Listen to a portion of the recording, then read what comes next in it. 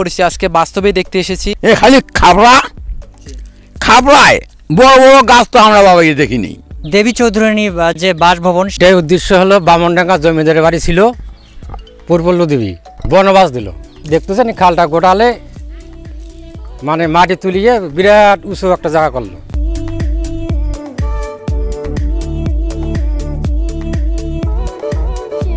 দেবী চৌধুরী নামে ভারতের কলকাতার স্টার জলসা চ্যানেলে যে সিরিয়াল নাটকটি দেখানো হয় সেই সিরিয়ালের গল্প বাংলাদেশের রংপুরের সত্য ঘটনার উপর নির্ভর করে রচিত বঙ্কিমচন্দ্র। চট্টোপাধ্যায়ের উপন্যাস অবলম্বনে নির্মিত। দেবী চৌধুরানী কে তার সম্পর্কে সংক্ষিপ্ত ভিডিওতে বলে কখনোই শেষ করা সম্ভব নয়। দেবী চৌধুরানী ব্রিটিশ ভারতের ইতিহাসে যে কয়জন নারী ব্রিটিশ বিরোধী আন্দোলনের সাথে জড়িত ছিলেন তাদের মধ্যে অন্যতম। আজকে এই ভিডিওতে দেখাতে চলেছি দেবী চৌধুরানীর ঠিক নিজের বসত বাড়ি, সেই সঙ্গে দেখাতে চলেছি দেবী চৌধুরানীর বাজার এবং তার পাশাপাশি দেখতে পাবেন হাওয়াখানা। বাংলাদেশে আমরাই প্রথম দেবী চৌধুরানীর বাড়ি ভিডিও তুলে ধরার চেষ্টা করছি। বিভিন্ন সময়ে ভারত সহ বাংলাদেশের বিভিন্ন এলাকার মানুষজন দেবী চৌধুরানীর স্থাপনা দেখতে আসেন। দেবী চৌধুরী রানীর নিজের বাড়ি রংপুরের পীরগাছা উপজেলা কৈকুরি ইউনিয়নের মকসুদখা গ্রামে অবস্থিত। এই দেবী চৌধুরানীর স্থাপনা সংরক্ষণ করা হয়নি। ফলে তার স্মৃতিচিত্রগুলো আর আগের মতো নেই। শুধু স্থাপনার জায়গাগুলো দেখতে পাওয়া যায়। জানা যায় পূর্ব মকসুদ খা হাজিপাড়া গ্রামে দেবী চৌধুরানীর আরেকটি স্থাপনা ছিল। তবে সে জমিগুলো এখন আর আগের মতো নেই অন্যরা ব্যবহার করছে। আমরা দেবী চৌধুরানীর বাড়িতে যাব। আর আমরা শুনলাম যে এলাকাবাসীর কাছে যাওয়ার পূর্বে এখানে আসলে দেবী চৌধুরানীর কিন্তু আসলে বাড়ি নেই।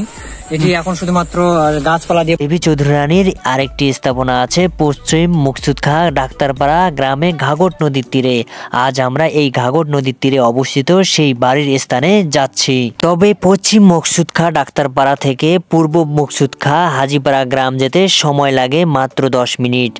তবে জমি ছাড়া কিছুই নেই। শোনা যায় এই জায়গাগুলো এক সময় উঁচু ছিল। সময়ের বিবর্তনে এখন স্থাপনার জায়গাগুলো নিচু হয়ে গেছে।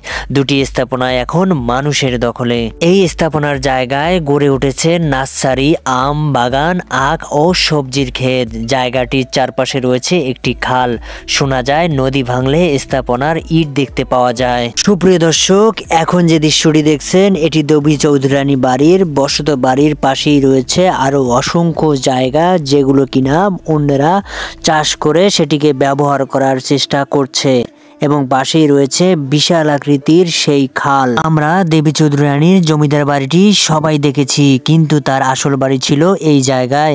তিনি এই জায়গায় চারপাশে সে খেলে বড় হয়েছিলেন। কালের বিবর্তনে এটি আর সংরক্ষণ করা সম্ভব হয়নি বলে অনেক কিছু তলিয়ে গেছে বলে আমরা জানতে পারি। চলুন স্থানীয় একজন ব্যক্তির কাছে বিস্তারিত জানা যাক। সুপ্রিয় দর্শক, সবাইকে স্বাগত জানাচ্ছি।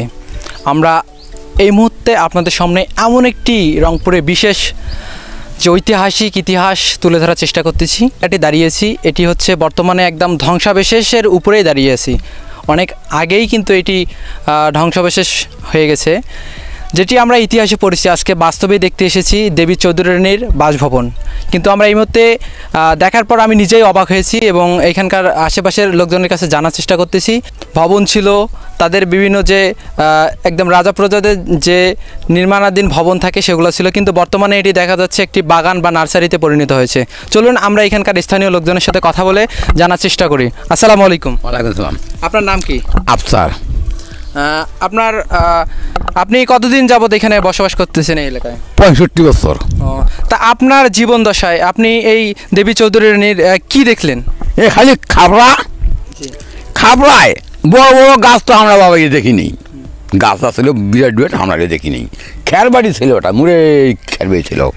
মানুষ ভাঙি ভাঙি ভাঙি ভাঙি এই আবাস টুবাদ করতেছে। এই তো। মাটির হাড়ি খাপড়া আমরা এগুলোই দেখতেছি।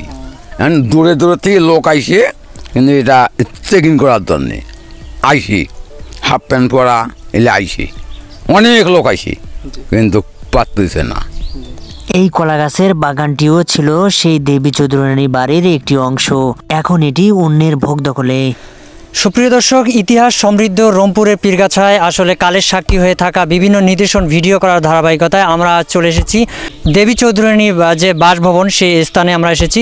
কিন্তু এখানে আমরা দেবী চৌধুরানীর বাসভবনে কোনো আমরা চিহ্নই পাইনি। এখানে বর্তমান বাগান দেখতে পাচ্ছি। এখন এটি অনেকটা ধ্বংসাবশেষ হয়ে গেছে। আমরা যেটি আমরা এলাকাবাসীর কাছে শুনতে পেরেছি। এই বিষয়ে আমি এলাকাবাসীর একজন চাচার সঙ্গে কথা বলব। চাচা আসসালামু আলাইকুম। ওয়ালাইকুম সালাম রহমতুল্লাহ আপনি ভালো আছেন? আলহামদুলিল্লাহ। আমরা তো আপনাদের এই ইতিহাস ঐতিহ্য সমৃদ্ধ যে জায়গাটি আছে সেই জায়গাটি আসলে দেখার জন্য আসছি আমরা। হ্যাঁ, হ্যাঁ। আপনি এই সম্পর্কে কি জানেন? এটা যদি আপনাদের দর্শকদের উদ্দেশ্যে বলতেন। এটাই উদ্দেশ্য হলো বামনডাঙ্গা জমিদারের বাড়ি ছিল পূর্বল্ল দেবী। সেখানে পূর্বল্ল দেবী সেখানে কাজ করত তার জমিদারের বাড়িতে। ওখানে কাজ করার পর ওখানে সে তার সুন্দর একটা বাচ্চা ছিল জমিদারের বাড়িতে। সেই বাচ্চাটা মেয়েটাকে তাক বিয়ে করল হলো আমার জমিদারের ছেলে। বিয়ে করার পর সে আর মানি নিল না। জমিদার মানি নিল না তারপরে তাক বনবাস দিল। সে মেয়ে সহকারে গেল ইয়ায় বনবাসে। বনবাসে দেখা হইল তোমার এক কাটুরিয়ার সাথে। কাটুরিয়ার সাথে দেখা হওয়ার পর ইতিহাস যা আছে সব বলল। ডাকাত ছিল। সে ডাকাতে নিয়ে গেল নিয়ে যা তাকে মানুষ করল। করার পর এক এক করিয়া পাঁচবার জমিদারের বাড়ি ডাকাতি করল। মেয়ে সহকারে জমিদার বাড়ি ডাকাতি করে ডাকা আর জমিদার তখন পরে নিঃস্ব হয়ে গেল। পরে এইখানে আসিয়া বা স্থান নিল। ডিভিসে নিয়ে আসিয়া এখানে স্থান নিল ভিটায় এই খালটা দেখতেছেন খালটা গোটালে মানে মাটি তুলিয়ে বিরাট উঁচু একটা জায়গা করল। করার পরে বিরাট ধনী হয়ে গেল। অনেক সম্পদ ছিল এখানে। বড় বড় গাছ ছিল। এই ভিটের একটা অংশ নদী ভাঙিয়ে নিয়ে গেল। আমরা সরকারের কাছে আবেদন করি যেন পরবর্তীতে এই এই বাসভবনটা যেন যাতে না ভাঙে। সরকারের কাছে আবেদন একটা পার করলে ভালো হইতো বা একটা উদ্যোগ নিত যাতে আর না ভাঙে। আচ্ছা এই- এই এই জায়গাটি আসলে এখন বর্তমান কারা ব্যবহার করছে? সবাই ব্যবহার করতেছে। সরকারের অধীনে আছে না এখন এটা আমি বলতে পারব না কিন্তু এই যে সরকারের অধীনে যত সম্ভব থাকতে পারে। এটা কি কোনো তদারকি করা হচ্ছে না উদ্বোধন কর্ম থেকে বা অফিস থেকে উপজেলা বা বিভিন্ন কার্যালয় থেকে? না না না না এটা করা হচ্ছে না। আমরা যতটুকু জানতে পারলাম এখানে নাকি বিভিন্ন দর্শনার্থী দূর দূরান্ত থেকে আসেন এবং হ্যাঁ, এই জায়গাটা কিন্তু পরিদর্শন করেন এবং অনেক কিছু করে যান কিন্তু পরবর্তীতে কোনো স্টেপ গ্রহণ করেন কিনা? না না না। সবাই শুধু দেখেন এবং চলে দেখে আর চলে যায় আর কোনো কোনো উদ্যোগ নেয় না। আচ্ছা আচ্ছা। তা আমরা চাই নদীটা যাতে এদিকে না আসে এই নদীটা আসলে কি নদী? যে নদীটা আসলে ঘাঘট। নদী ঘাঘট নদী। সুপ্রিয় দর্শক, এখানকার একজন মুরব্বীর সঙ্গে আমরা কথা বললাম এবং জানানোর চেষ্টা করলাম। চলুন দর্শক, এবার আমরা দেবী চৌধুরীর বাড়ি থেকে চলে যাই। দেবী চৌধুরী বাজার এবং তার পাশেই রয়েছে হাওয়াখানা, যেখানে একটি বিশাল পুকুর রয়েছে। এখন আমরা অবস্থান করছি দেবী চৌধুরানী বাজার।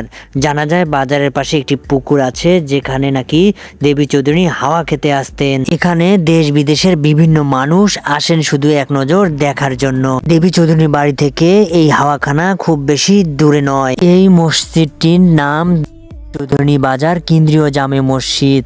এই মসজিদের পাশেই রয়েছে কাঙ্ক্ষিত হাওয়াখানা বা পুকুর। এখানে নিয়মিত দেবী চৌধুরী হাওয়া খেতে আসতেন এবং হাওয়া খাওয়া শেষে ফিরে যেতেন।